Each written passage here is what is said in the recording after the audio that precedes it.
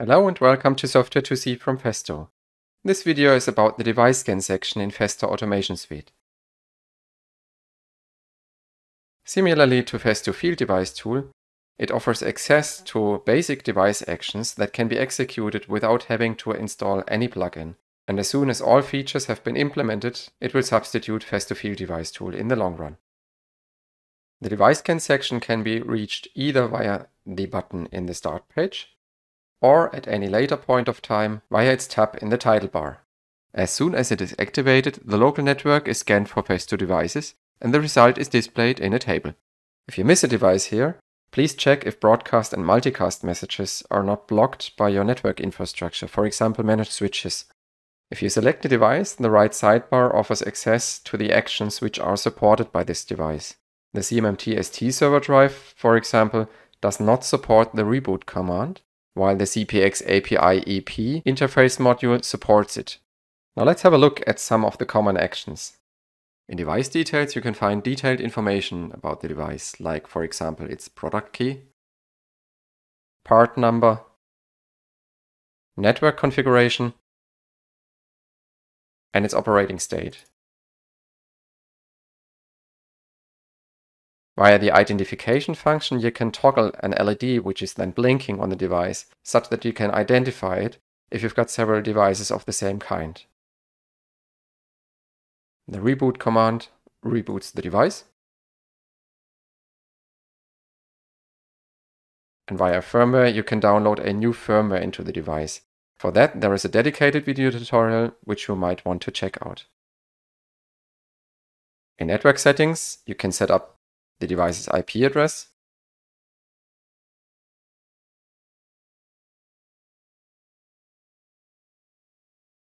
And device name does exactly that. Change the device's name.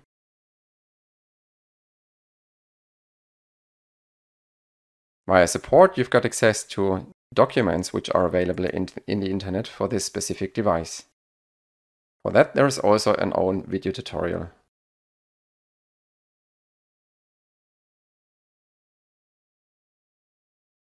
The Add to Project action is a little bit special because it does not trigger an action on the device itself, but it adds the device to the current project.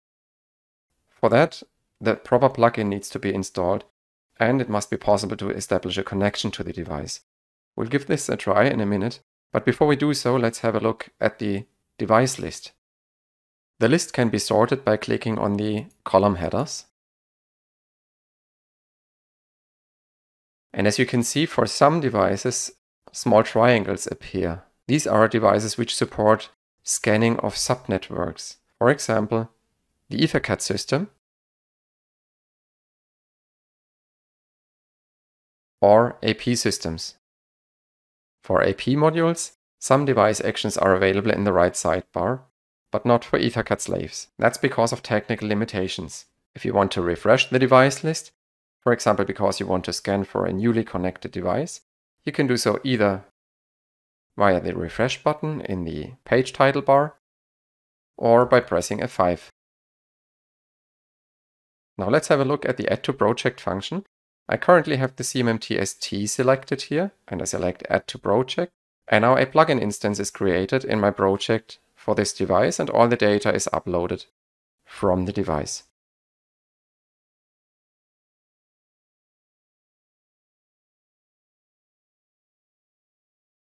I switch over to the project section and open the device plugin,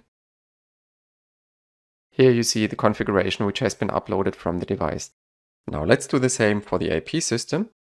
I select the CPX API EP interface module and add it to my project. And since the device supports a subnet scan, I can now import the connected modules as well.